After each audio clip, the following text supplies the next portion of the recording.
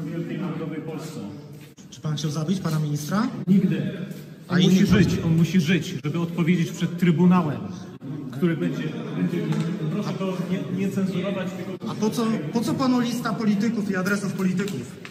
po to, żeby rozsyłać informacje chociażby w postaci książki Biała Księga Pandemii. Rozumiem. Czy nie chciał pan nikogo skrzywdzić? Nigdy. Ten człowiek musi przed Trybunałem stanąć. Zrozumcie to ludzie.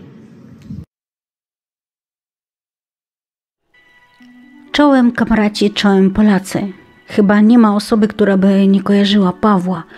Czy to po głosie z żywców, gdzie często dzwonił i zabierał głos w różnych ważnych dla nas tematach, czy też może z różnych kamraskich wydarzeń, na które chętnie jeździł, jeśli tylko miał taką możliwość.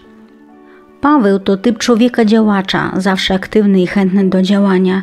Zawsze można na niego liczyć i chętnie wspiera różne inicjatywy. Jest gotowy do niesienia pomocy słabszym, poszkodowanym przez system. Tym razem to Paweł potrzebuje naszej pomocy.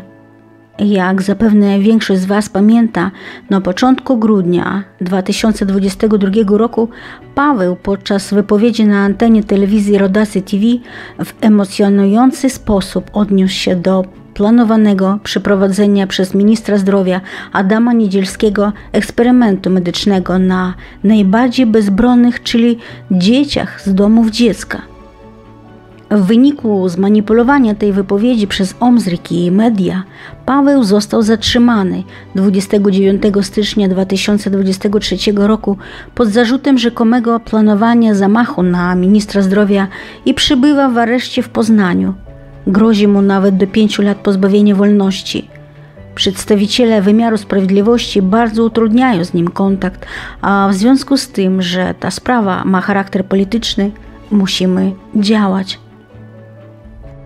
Mamy możliwość powołania zespołu prawnego w celu jego uwolnienia, ale na to potrzebne są pieniądze, którymi my jako stowarzyszenie nie dysponujemy. Dlatego prosimy Was o pomoc. Ta sprawa dotyczy nas wszystkich. Każdy z nas mógł się znaleźć na miejscu Pawła za własne zdanie i za niezgodę z tym, co się obecnie dzieje w naszej ojczyźnie. System chce go ukarać surowymi konsekwencjami za nas wszystkich, przelewając całą swoją patologię na tego jednego człowieka. Dlatego musimy działać szybko i zapewnić mu jak najlepszą opiekę prawną, by przekuć tę sytuację i nasze zwycięstwo nad systemem, co jest zgodne z tym, czego życzy sobie Paweł.